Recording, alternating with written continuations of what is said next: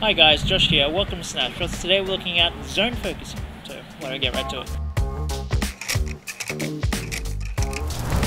With zone focusing, what you essentially are doing is judging by a distance. So let's say something's 2 meters away, look at your lens, you set it to 2 meters, take the photo, hopefully it's in focus. But of course, it's not just hoping for the best. There are a few things that go into it. When you are zone focusing, most of the time you do have it at a higher f-stop usually at f8 or 11. How this helps you is that there's going to be more in focus when you take the photo when you're at a higher f-stop like that. Now most lenses for your rangefinders have little markings where you can see between what meters is something going to be in focus if you're at that f-stop. I know a lot of people like to set their camera at 3 meters because when you're at f8, usually from 3 meters to infinity is in focus when you have it at that setting. Now this is going to be something you don't get on the first day I myself still struggle with it, still need to practice, I haven't practiced in a long time. If you watch any of the black and white film videos that I shot on my Melbourne trip, all that was with zone focus. And that is kind of why a lot of them are out of focus, but that was me trying to learn and practice by doing.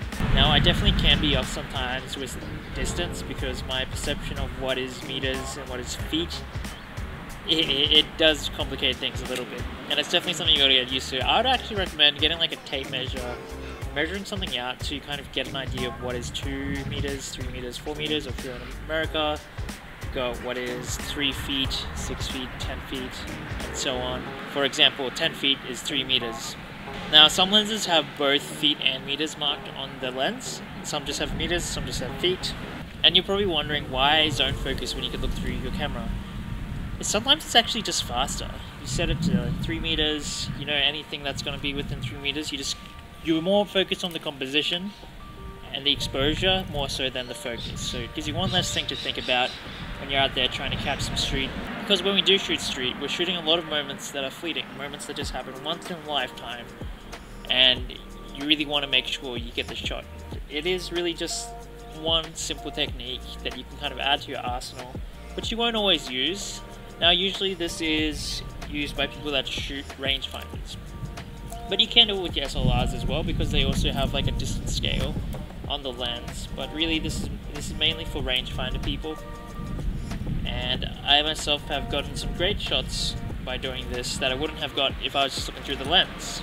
This is one of the reasons why we like the more automatic cameras like point and shoots or cameras with aperture priority, shutter priority, and that's because it gives us one less thing to think about. So we can focus just on the composition, what's going on around us, and you don't have to focus as much on the focus. You don't necessarily have to have it at f8, you can still zone focus at 5.6, 4, 2.8, heck I've tried to do it at 1.8, not successfully, but it is an option. But just beware when you are doing the low f-stops, what is in your range of focus, and your lens will remind you. Like let's say right now I have it set at 5 meters focus, and I got it at f2, it's telling me between four to six meters will be in focus. This is definitely going to be a slower process when you're first starting out, but as you do it more and more, it will become faster. So don't expect to be fast at focusing right off the bat. And with that in mind, just get out there, shoot some film, practice, practice, practice your zone focusing. And if you enjoyed this video and found it helpful, please like and subscribe, turn on the post notifications so you know when there's a new episode. Anyway, I'm Josh. This has been Snapshots. Let me know if there's other subjects you want me to touch upon with this Snapshot series, which is focusing on beginner tips and information.